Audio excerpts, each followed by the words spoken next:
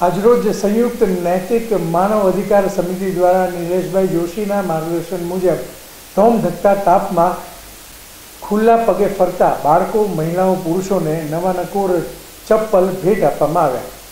સાઠથી સિત્તેર જોડી અને બાળકો સહિત બહેનોને સુખી પરિવારે આપ્યા કપડાં. ડ્રેસ વગેરેનું અલગ અલગ સ્લમ વિસ્તારોમાં વિતરણ કરવામાં આવ્યું.